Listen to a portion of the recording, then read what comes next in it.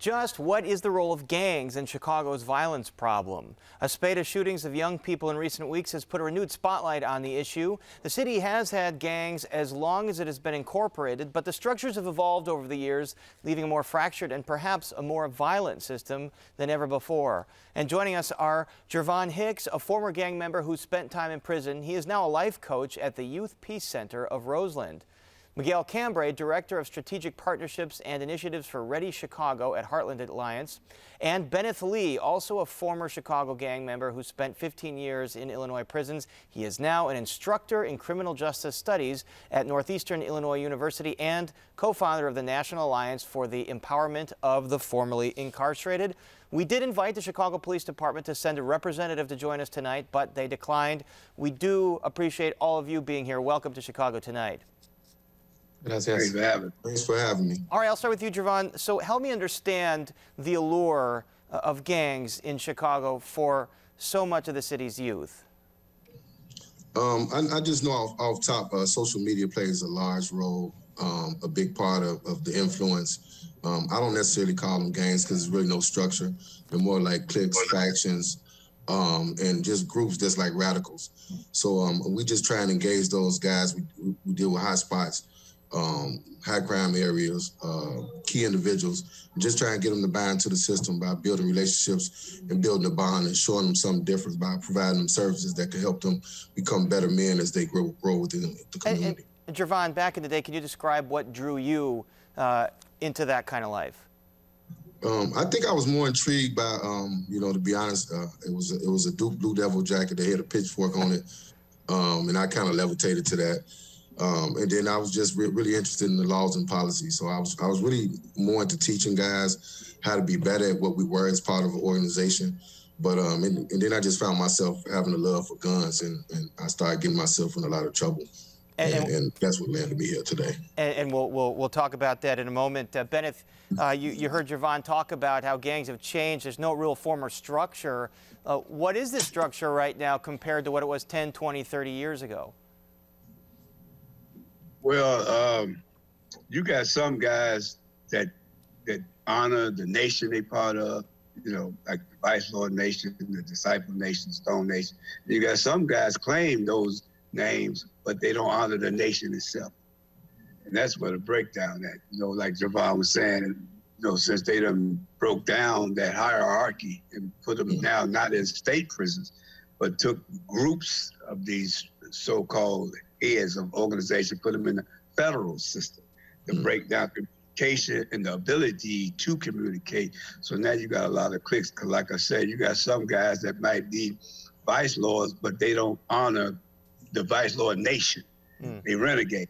And then you might see a clique of guys on one block, but it might be five vice lords, two disciples, and one stone, and they getting money together and they hustling. And that's how they moving now. So it's kind of hard to say this is a street gang specifically that did this act. Mm. You know. So. so with, with prosecution and RICO cases, it's kind of broken down into more scattered system, more anarchic system. Uh, Miguel Cambray, when you counsel young kids, how much of the violence that you see, the trauma that you see, is a result of, of gang-related activity versus just simple interpersonal conflict?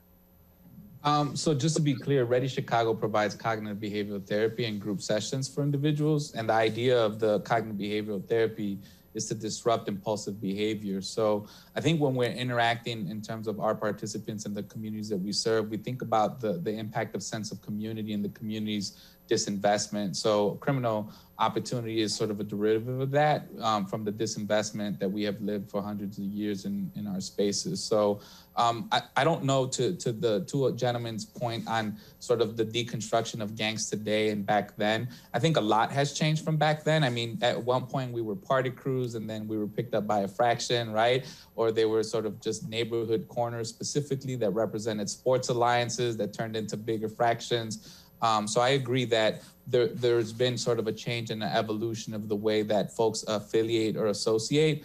Um, but again, in terms of the recklessness that you asked earlier, it's a continuation um, of, of our environment and our environment uh, impact on us um, and our resilience to survive. um, and to be relevant in our communities. And speaking of survival, a big part of that is guns. Jervon, you were talking about how you became really drawn to guns. Uh, I've heard you say that you were addicted to guns at what point. Uh, can you just talk about that addiction and, and why guns are just so prevalent? Um, even even even when I when I began carrying uh, firearms, I just I just know it was a, a, a power move. Um, I don't think there's nothing to be hand, held in your hand that's more powerful than a, than a, firearm, unless you have a large bank account, a large load of money. However, the addiction came from seeing fear in others' eyes. Um, did I know I was doing wrong? Absolutely. Did I know it was illegal? Absolutely.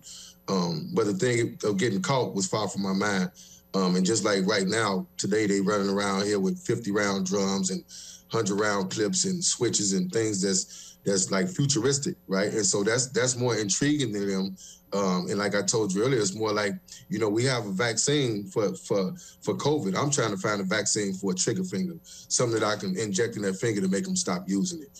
And uh, until then, I'm not and I'm not going to stop uh, until we figure out something else to add to the tool belt besides a weapon. And, and Benneth, you know, kids at a young age can be drawn into this, and even if someone offers them an alternative or says stay in school, get good grades, or come to my peace circle, th that allure is still very powerful. So how do you combat that for young people?